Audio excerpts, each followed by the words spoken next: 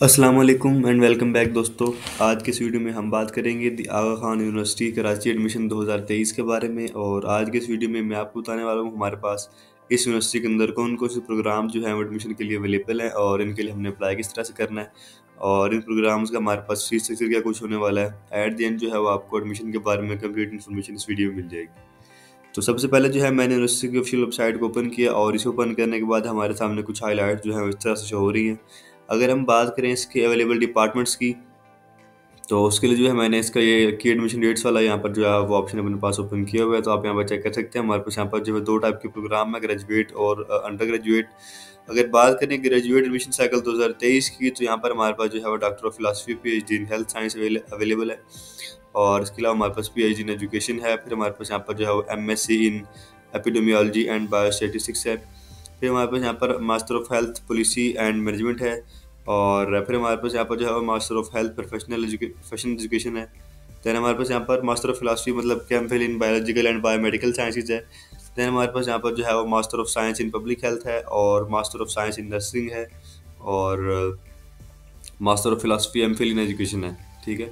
और अगर हम बात करें एडमिशन शेड्यूल की तो आप यहाँ पर चेक कर सकते हैं जो आपकी अप्लीकेशन एक्सेप्टेंस है, वो 12 मार्च 2022 से स्टार्ट थी और सताईस अप्रैल 2023 तक जो है आपकी आप जो है इसमें अप्लाई कर सकते हैं, ठीक है? और आपका जो एडमिशन टेस्ट है वो संडे चार जून से स्टार्ट होंगी। और जो आपकी क्लासेज हैं वो फरवरी दो हज़ार चौदह से, दो हज़ार चौबीस से जो है वो स्टार्ट हो जाएगी।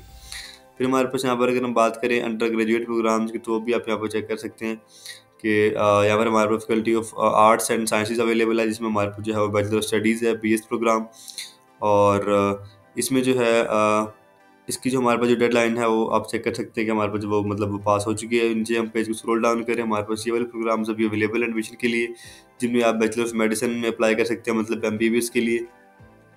देन आप जो है वो post R N bachelor of science के लिए अप्लाई कर सकते हैं नर्सिंग में। देन आप जो है वो bachelor of science in nursing B S C nursing में आप अप्लाई कर सकते हैं। और सबसे लास्ट में हमारे पास जो है वो associate of science in dental hygiene के अंदर जो है वो आप अप्लाई कर सकते हैं। एप्लीकेशन की जो एक्सेप्टेंस है, वही हमारे पास जो है वो मार्च बारह, दो हज़ार तेईस से अप्रैल साइज़ दो हज़ार तेईस है।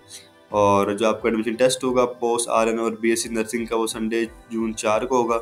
और B S C nursing and S D H का हमारे पास जो है, यहाँ पर देखा हुआ सैटरडे अगस्त फाइव को हो रहा है।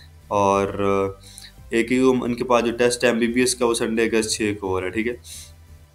फिर हमारे पास जो ईस्ट अफ्रीका जो कंट्रीज़ हैं, ठीक है, उनका जो एडमिशन साइकिल है, उसके बारे में यहाँ पर डिटेल दी है कि उनके पास जो है मास्टर ऑफ़ एजुकेशन एम में जो है वो जो एडमिशन है, वो भी इसमें ओपन है और इसमें जो है इनकी जो डेड लाइन थी वो तीन अप्रैल दो हज़ार तेईस है और फुल टाइम जो है वो अप्रैल दस दो हज़ार तेईस से पहले पहले आप इसमें अप्लाई कर सकते हैं, ठीक है?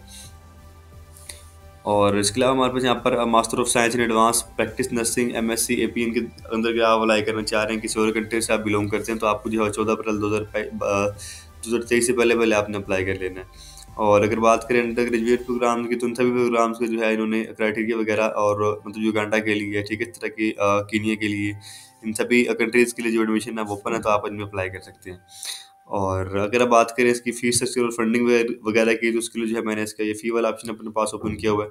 तो यहाँ पर सभी कंट्रीज़ के हिसाब से जो है वो फ़ीस स्ट्रक्चर यहाँ पर नोटेड है। जैसे हमारे पास यहाँ पर जो है पाकिस्तानी जो है वो ट्यूशन फ़ी वगैरह यहाँ पर लिखी हुई है। जैसे हमारे पास यहाँ पर faculty of arts and bachelor of studies का फ़ीस स्ट्रक्चर है। इंस्टीट्यूट ऑफ़ डेवलपमेंट का हमारे पास यहाँ पर है। मेडिकल कॉलेज का है। School of nursing and midwifery के पास जो है फ़ीस स्ट्रक्चर अवेलेबल है। तो सभी के जो फ़ीस स्ट्रक्चर है, मैंने ओपन किए हैं। जैसे आप यहाँ पर चेक कर सकते हैं bachelor of arts and science की जो फ़ीस स्ट्रक्चर है, तिहत्तर हज़ार रुपये जो पाकिस्तानी फ़ी बनती है इनकी एक सेमेस्टर की। वो उन्होंने यहाँ पर लिखी आपको वन टाइम पे करनी पड़ेगी एडमिशन फ़ी ग्रेजुएशन फ़ी आपकी बाईस हज़ार छः सौ बनती है, फ़िज़िकल एग्जामिनेशन फ़ी आपका पंद्रह हज़ार पाँच सौ है, सिक्योरिटी डिपॉजिट आपका बारह हज़ार बनता है। स्टूडेंट एक्टिविटी फ़ी आपके यहाँ पर सैंतीस सौ बन रही है, स्टूडेंट हेल्थ फ़ी आपकी जो है वो बीस हज़ार नौ सौ बन रही है, ठीक है। ट्यूशन फ़ी आपके यहाँ पर जो है एक लाख अस्सी हज़ार बन रही है और हॉस्टल फ़ी आपके यहाँ पर सात हज़ार पाँच सौ रुपये बन रही है, ठीक है। और स्टूडेंट जो है वो इम्यूनाइजेशन फ़ी आपकी जो है तिहत्तर हज़ार पाँच सौ बन रही है, ठीक है। बाकी की डिटेल जो आप यहाँ पर चेक कर सकते हैं, डॉलर्स वगैरह में भी उन्होंने यहाँ पर आपको डिटेल दी है। फिर हमारे पास यहाँ पर जो फ़ीस स्ट्रक्चर है, यहाँ पर इंस्टीट्यूट ऑफ़ एजुकेशन के डेवलपमेंट के अंदर तो यहाँ पर P H D in philosophy P H D master in education M Ed ठीक है, इनका हमारे पास जो है वो M S C M phil in education का फ़ीस स्ट्रक्चर आप यहाँ पर चेक कर सकते हैं। आपकी जो एडमिशन फ़ीस था हज़ार आठ सौ बन रही है और पाँच लाख चौंठ हज़ार आपकी ट्यूशन फ़ी बनती है ये आई थिंक जो आपकी वो दो साल की उन्होंने मिला के आपको टोटल बता दी ठीक है।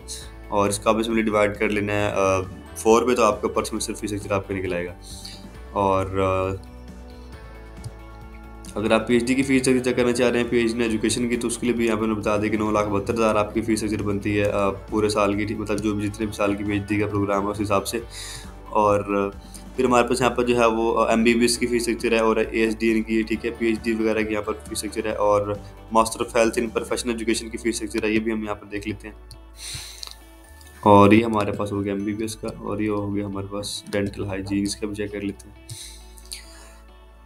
तो M M P M H P के हमारे पास यहाँ पर master of health professional education की अगर आप फ़ी चेक करें तो इनके पास जो है छः लाख सत्तीस हज़ार आपकी बन रही है, ठीक है, दो साल की। और अगर बात करें एम बी बी एस की तो उसके लिए जो है आपके पास जो है पूरे का पूरा फ़ीस स्ट्रक्चर उन्होंने यहाँ पर दिया हुआ है। आपने सिंपल वेबसाइट पर आना और यहाँ पर आने के बाद अपना जो है वो एम बी बी एस का फ़ीस स्ट्रक्चर जो है वो चेक कर लेना है। फिर हमारे पास यहाँ पर जो उसका फ़ीस स्ट्रक्चर बनता है master of associate science in dental hygiene के अंदर, ठीक है? तो उसमें आप चेक कर सकते हैं आपकी जो एडमिशन फ़ी है वो यहाँ पर पैंठ हज़ार बन रही है, ठीक है जी? और ट्यूशन फ़ी आपकी दो लाख अठासी हज़ार बन रही है, ठीक है? तो इस तरह से करके आपने जो अपना एसोसिएट डिग्री की फ़ीस फिर आपको इस पेज से मिल जाएगा। तो आज की वीडियो हमारी यहीं तक थी। उम्मीद आपको हमारी आज की वीडियो पसंद आएगी और अच्छी भी लगी होगी। अब अगर आपको माइंड में इस वीडियो का मतलब की क्वेश्चन है, कोई सवाल है तो आप हमारे कमेंट सेक्शन में हमसे पूछ सकते हैं। ओके जी? अल्लाह हाफिज़।